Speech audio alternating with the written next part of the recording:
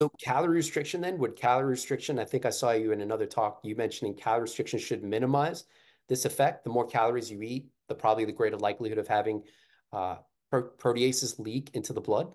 In, in the simplistic way, when you reduce your calorie input, you eat smaller meals, and therefore the damage to the intestine with every meal that you eat is reduced. Timed eating is, is another example like this. If you eat uh, nothing over a certain period of time, that allows your mucosal barrier to repair itself. That, by the way, is always in repair. It's the, the intestine is the organ with the highest gene expression, and the uh, the the it takes about a couple of days to fully restore an intestine, uh, intestinal villus. But there are plenty of stem cells in the submucosa, and gastroenterologists study this at great detail. There's a constant repair mechanism. In my, from my point of view, is uh, how can somebody survive a severe ischemia where the entire length of the uh, villus is now reduced? All you need in order to have a functioning intestine is you have to uh, close the villi. They don't have to be very long. If they're very long, they can absorb, of course, more nutrients.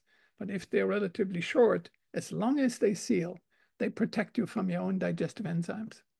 So that then raises the interesting question of, so after eating, uh, I guess it, you could quantify this, right? Where depending on your calorie intake and maybe even protein uh, uh, intake levels, there'll be some magnitude of autodigestion that would require some amount of time after eating where you don't eat for the villi and everything else to repair itself.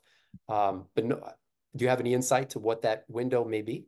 The no, the, the answer is, is I can only speculate on circumstantial evidence. Um, the good news I have is we have now developed a technology that allows you to measure proteolytic activity in a blood sample, a whole blood sample. Um, this is an effort together with a fellow by Mike Heller, who is a retired professor at UCSD uh, and interested in nanoengineering. And we have now a technology that indeed you can take a blood sample, these very small uh, uh, finger prick, to measure the activity with these fluorescent units. And these are experiments that are ongoing. But I can tell you that uh, animals at risk or humans at risk uh, have an elevated proteolytic activity. And this is, uh, again, it's transient. These are not just steady state value. You can think of it like a glucose value. Uh, you measure one glucose value doesn't teach you a lot. You have to really follow time course. Same with uh, digestive enzyme. So is that escape that you're asking for, is that a time-dependent phenomenon? No question in my mind. But um, the exact time when the barrier opens with a particular meal and the particular constituents of a meal, and the time when uh, it's been repaired, that time course is of such importance for all these uh, timed eating experiments. That needs to be measured. And then these uh, uh timed eating experiments can be really based on a rational basis.